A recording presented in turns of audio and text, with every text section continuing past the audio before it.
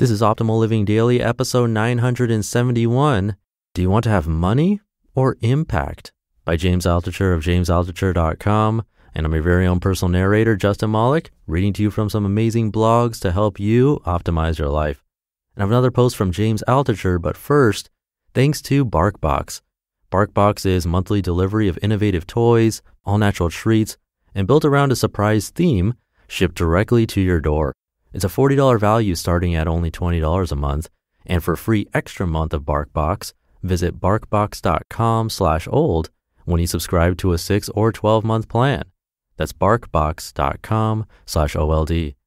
But for now, let's get right to the post and start optimizing your life. Do you want to have money or impact? By James Altucher of jamesaltucher.com. One of the most famous people on television was on my podcast. I asked him, Are you addicted to being relevant? He had to think about it.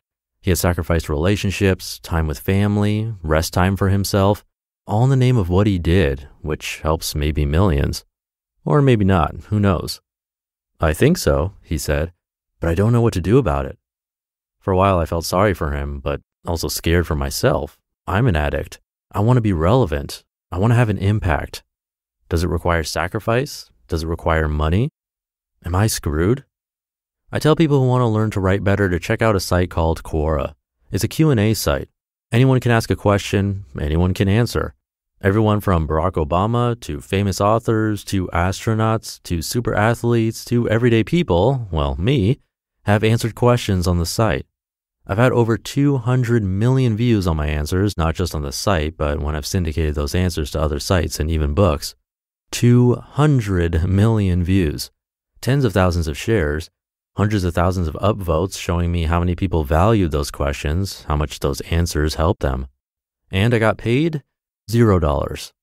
I've maybe spent a year of my life, 2% plus of my life, answering questions on Quora for nothing, but also for everything impact. Philip Morris or any cigarette company makes a product that the packaging says causes cancer. I'm not accusing any company of anything. Clearly, some people love smoking. A billion people love smoking. Philip Morris made $10 billion in profits last year. Surgeon General's warning cigarettes cause lung cancer, emphysema, heart disease, fetal injury, on and on. I'm glad my name is not Philip Morris. I don't need $10 billion. This moment, I'm the happiest I've ever been in my life. Money is a tool to create impact. It allows me sometimes to transfer value I see in my head to value I can create. But I can create value and impact and relevance in other ways.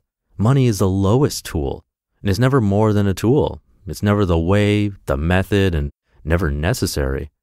I know people who live to accumulate, and it's cliche to say, but they end up dead with a full bank account, not realizing they died many years earlier. I was the walking dead for at least 15 years on my quest for money, I was dying for money.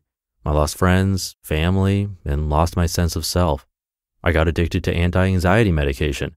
I destroyed my relationships with some of those closest to me. I cried a lot. I had to rebuild.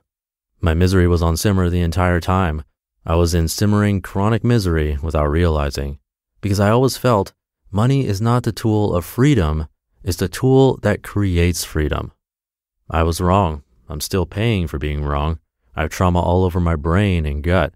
I still have anxiety. I still have to fight making fear decisions so I can make growth decisions, and every decision is one or the other. But as they say, one day at a time.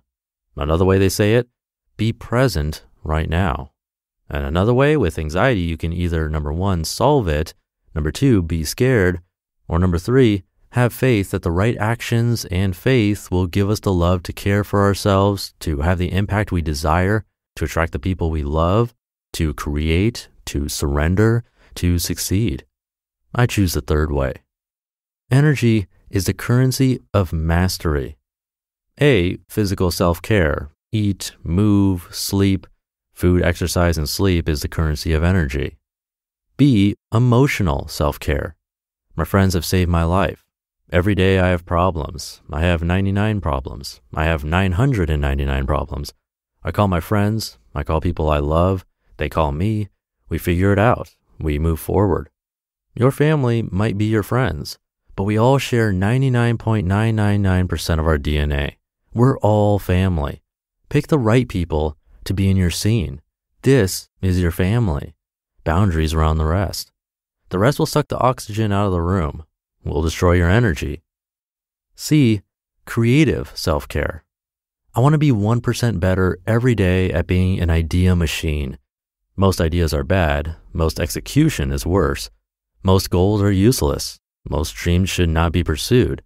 Being 1% better every day at creativity, when compounded every day, is 3,700% better every year.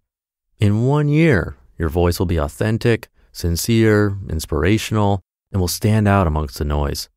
Creativity turns your vibration that exists for such a period of time on this planet, in this universe, turns your message from static to signal. I want to be signal. D, spiritual self care. Our brains are the tools of apes and lizards. Whatever you believe in doesn't matter, but every day I try to wake up confused. Where am I? I pretend I'm an alien who just landed on this planet, a new planet every day, and now I have to figure out where I am, what to do, who to help. I have a mission. I have to figure it out. I have to execute on it. Clear my head, deep breath, wiggle my toes. What is the mission? I have to surrender to the fact that I don't know, but that faith and surrender and action will guide me to that mission. I want to say mission accomplished before I close my eyes at night, ready to be transported to another galaxy, another dimension of exploration. Abundance is doing all of these things you heard. For me, I don't know about anyone else. Learning how to wield money as a tool that works for us instead of a source of fear and anxiety. Learning how to use love as a tool for abundance rather than as a tool for scarcity. The party is where I'm at versus I hope they like me. Not being afraid to be honest, to ask for help, to say what I mean. I am afraid, but I get better. Every day giving back. Giving back is how abundance is planted. Every day I asked my daughters, who did you help today? Find your scene. I had to find my Justice League. Superman never needs money. He needs his friends. Together, you and I are explorers. But this is the exploration where all things added up and subtracted and divided and multiplied, we are equal. Hug me.